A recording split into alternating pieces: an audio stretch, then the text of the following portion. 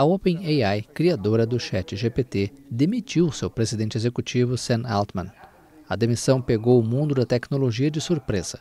Sam, de 38 anos, se tornou uma sensação no setor com o lançamento do ChatGPT, um chatbot de inteligência artificial com capacidades de produzir conteúdo de nível humano, como poemas e textos, em apenas alguns segundos. O conselho de administração da OpenAI disse em um comunicado que a saída do executivo segue um processo de revisão deliberativa que concluiu que ele não foi consistentemente sincero em suas comunicações com o conselho, prejudicando sua capacidade de exercer suas responsabilidades.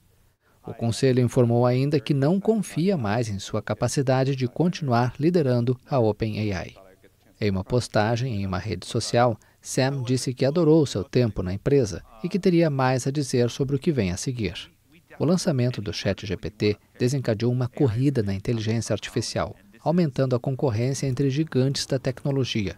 A Microsoft investiu bilhões de dólares na OpenAI e integrou a tecnologia da empresa em suas ofertas, incluindo o mecanismo de busca.